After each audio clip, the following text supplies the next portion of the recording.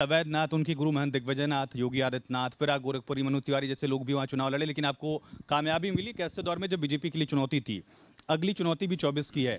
और ऐसे में आपके लिए क्या उपलब्धियाँ हैं गोरखपुर के लिहाज से, जो आप जनता के बीच लेकर जाने वाले हैं? चाहे वो रामगढ़ ताल से जुड़ी हो, एयरपोर्ट से जुड़ी हो, स्टेडियम से जुड़ी हो, और लगातार जो इंडस्ट्रीज़ वहाँ पर आ रही हैं, फर्टिलाइज़र के बाद हम देख रहे हैं कि जालान का भी हाल में प्लांट शुरू हो गया है।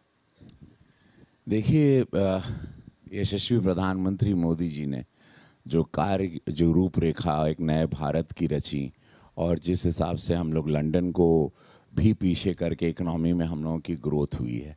और जिस तरह से भारत का सम्मान आज जी ट्वेंटी को हम लोग रिप्रेजेंट कर रहे हैं।